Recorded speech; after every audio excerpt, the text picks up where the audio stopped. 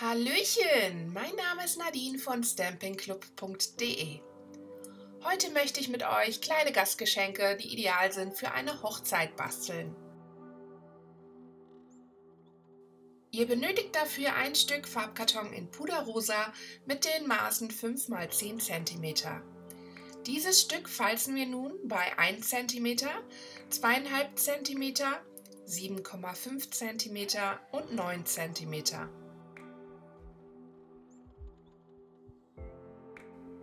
Um im Gastgeschenk ein Stück Schokolade zu verstecken, nutzen wir die Stanze Kreis 1,5 Inch und machen damit in die Mitte des Farbkartons ein Loch. Ein kleines Stück Post-it dient mir hier als Schablone. Während der Celebration könnt ihr euch das besondere Designerpapier Frühlingsglanz mit den wunderhübschen roséfarbenen Akzenten schenken lassen. Dieses Stück schneide ich mir auf 5,1 x 28 cm zu und falze beide Seiten bei 11,5 cm. Das Designerpapier stanze ich an beiden Enden mit der Stanze gewellter Anhänger.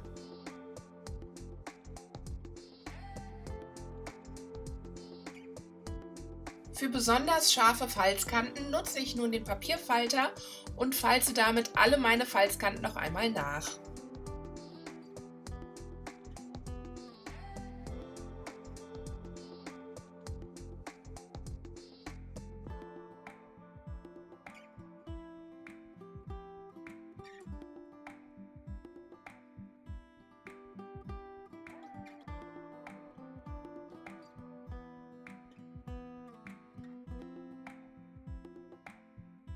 Auf die kleinen Flügelchen meiner gebastelten Schokoladenhalterung bringe ich Abreißklebeband auf.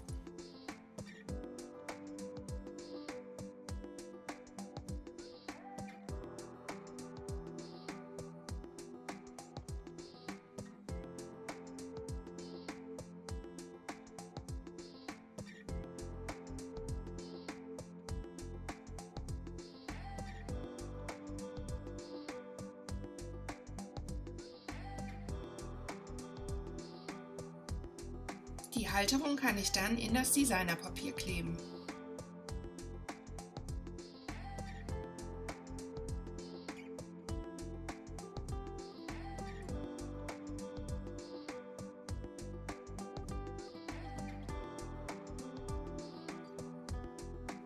Die Grundform meines Gastgeschenks ist damit fertig.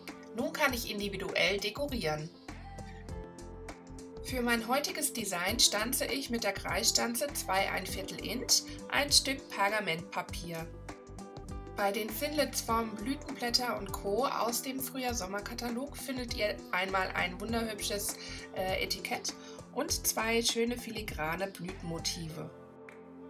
Für die Blütenmotive nehme ich meine Big Shot, die Grundplatte, die Präzisionsplatte, Lege dann ein Stück flüsterweißen Farbkarton und die beiden Thinlitsformen auf.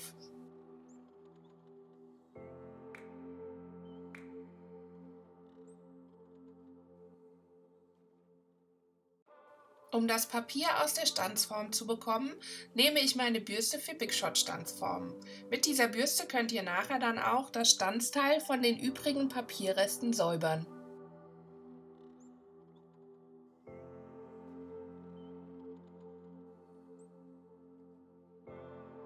Das Etikett für mein Gastgeschenk wird embossed. Hierzu nutze ich erst den Embossing Buddy, um das Statische von meinem Papier zu entfernen. Im Stempelset Blütentraum finde ich einen passenden Spruch für mein Gastgeschenk. Um den Text zu embossen, stemple ich erst mit Wasamark auf dem Papier ab. Im Gegensatz zu normaler Stempeltinte trocknet Wasamark recht langsam. Daher hält mein Embossingpulver wunderbar auf dem Papier. Mit dem Erhitzungsgerät föhne ich nun mein Papier von unten, bis das komplette Pulver sich verflüssigt. Beim Föhnen von unten lauft ihr nicht Gefahr, dass das Pulver durch den Föhn weggepustet wird. Um den Text nun akkurat auszustanzen, nutze ich meine Big Shot und die Magnetplatte. So kann ich ideal gerade das Etikett, die Stanzform über meinem Text platzieren.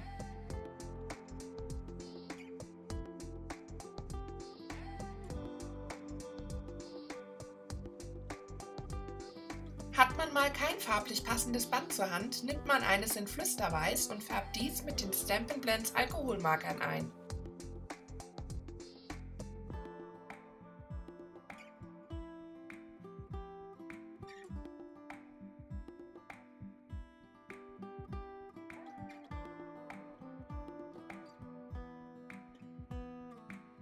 Das Band nutze ich nun, um meine Verpackung oben zu verschließen.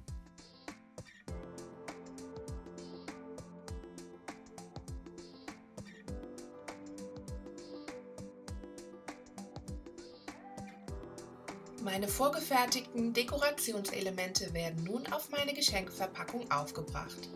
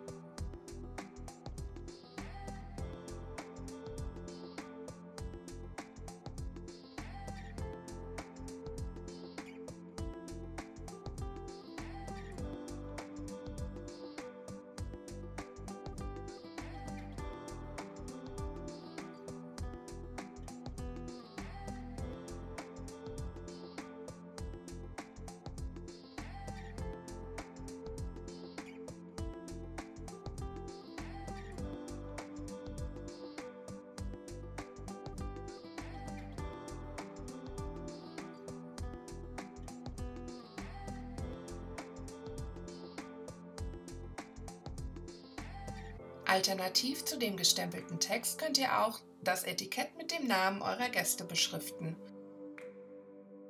So dient das Gastgeschenk gleichzeitig auch noch als Tischkarte. Ich hoffe, dir hat mein Video gefallen. Hier habe ich noch ein nächstes Video, was du dir direkt anschauen kannst. Vergiss nicht, meinen Kanal zu abonnieren, um über jedes neue Video informiert zu werden.